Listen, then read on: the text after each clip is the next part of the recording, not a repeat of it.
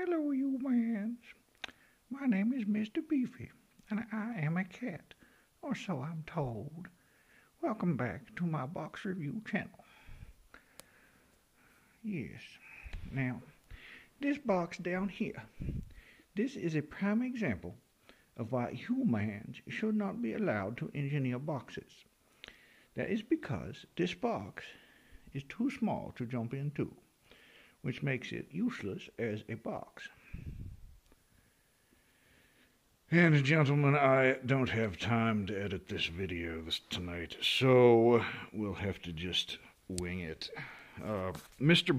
Robert, um, you are definitely a gentleman and a scholar. Now, when people send me stuff, I try to trick them into letting me pay them for it, or pay the shipping at least. Um, but Robert, uh, he just sent this stuff anyway, and wouldn't let me trick him into, you know, getting a PayPal address or something. So, um, what this stuff is, is a couple of um, Motorola 68K RAM cards for the uh, the big Tandys, and also a couple of um, MFM bubble controllers uh, for for uh, well, I guess for any series of uh, the older TRS-80s. Um, specifically, I intend to use these with the Model 2. So, with this stuff, um, the only thing that I lack, that me and Mr. Beefy lack, I should say, uh, to get uh, Xenix running on the Model 2 is a Type 2 hard drive controller, which Ian Mavric makes a replica of, so those are actually possible to get without watching eBay for uh, months and months and then paying far too much for things. Kind of like what I did with that Genesis PC PS2 Model 25 that doesn't work. Fancy that.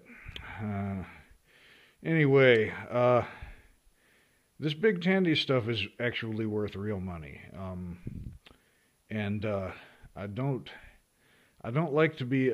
I, I feel like I'm being a mooch, man. Um, but since Mr. Beefy uh, tricked you into sending a box with your shipping address on it, um, I'm going to send you some kind of present in exchange one of these days. Uh, I'm kind of thinking once uh, once I get this little Z80 fun time project doing something useful, um, I'm going to wire up one of those and send to you as a thank you because uh, you are a gentleman and a scholar, sir, and you know what happens when someone is a gentleman and a scholar. But Mr. Beefy is such a good boy on my lap. I don't want to kick him off my lap. But, oh, Mr. Beefy, we have to do our civic duty, don't we?